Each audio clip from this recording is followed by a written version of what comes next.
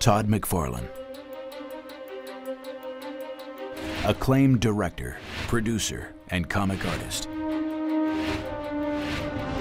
Brings to life Assassin's Creed 4 Black Flag and the new assassin hero, Edward Kenway.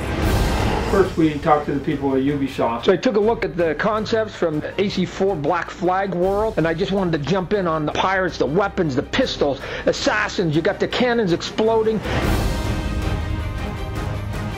We then have to try and come up with a concept that we think is going to be kind of cool. There was a poster when I was a kid. It was Michael Jordan and standing there with his arms out like this, and you could see how long his reach was. And this one sort of carried all the elements in that we wanted.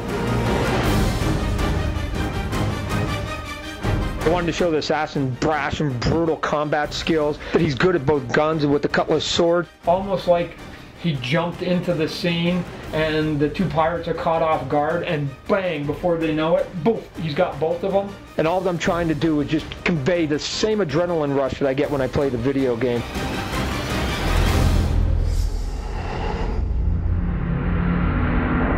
Get this free collectible poster from award-winning comic book legend Todd McFarlane, available exclusively with pre-order and only at GameStop. Pre-order now for the GameStop edition includes exclusive in-game content.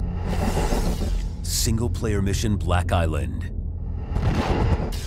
Unlockable Black Ship. Pre-order at GameStop today.